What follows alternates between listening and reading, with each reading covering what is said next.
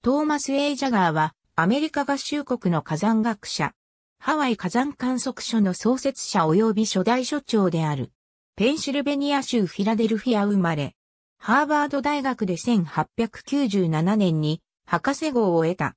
はじめ実験室でマグマの挙動を解明する実験を行っていたが、フィールド観察の必要性を痛感するようになった。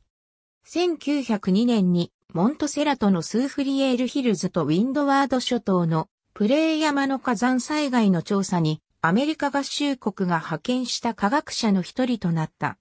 アメリカ海軍とナショナルジオグラフィック協会の援助を受けて噴火開始の13日後には噴煙の漂うマルティニークの海岸に上陸した。その後の10年間はイタリアやアルーシャン列島、中央、アメリカや日本の地震や火山噴火の現場を調査した。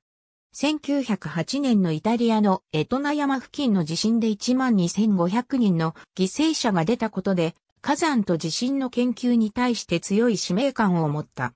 1909年にハワイに自費で渡り、キラウエア火山に最初の火山観測所を作ることを決意した。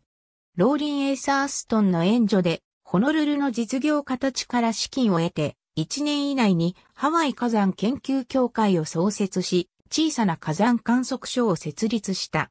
1912年にはマサチューセッツ工科大学の支援を得て、新たにハワイ火山観測所を創立した。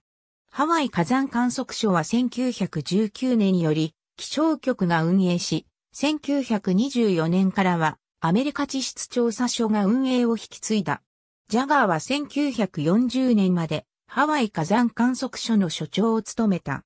1987年にキラウエアのカルデラの西側下公園にトーマス・エイジャガー博物館が開館した。ありがとうございます。